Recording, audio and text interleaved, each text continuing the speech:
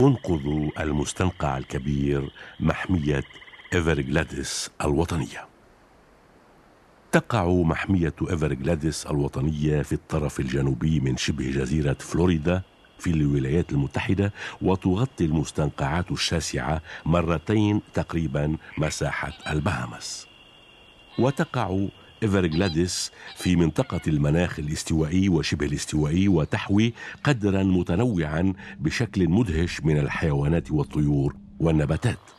وتتغذى الطيور من تنوع وفير من الأسماك كما توجد هنا التماسيح البرية. وللأسف فإن هذا النظام الإيكولوجي معرض لتهديد خطير بسبب نمو المدينة والتنمية الزراعية المتسعة. وكان هذا المستنقع الكبير يغطي مساحة أكبر بكثير ولكن تم حفر القنوات في خمسينيات القرن الماضي لسحب المياه منها.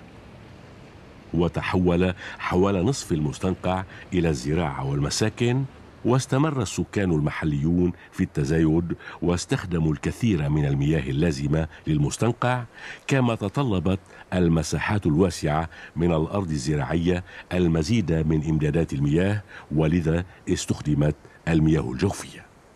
كما تقلصت أرض المستنقع وانخفضت كثيرا أعداد الحيوانات والنباتات البرية وفي وقت ما كان هناك مئتا ألف من طيور أبو منجل الأبيض ولكن أعدادها هبطت إلى عشر ذلك.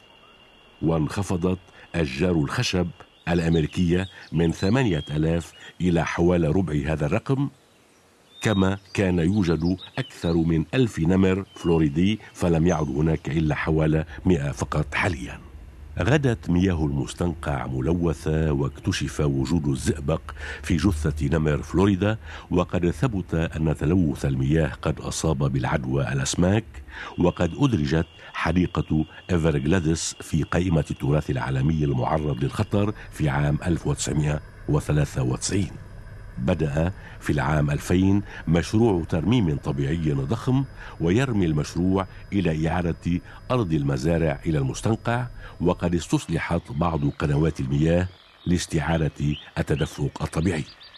منذ أن أدرجت حديقة إيفرغلاديس الوطنية في قائمة التراث العالمي المعرض للخطر بذلت جهود كبيرة لإعادة هذا النظام الإيكولوجي المحلي إلى مجده الغابر.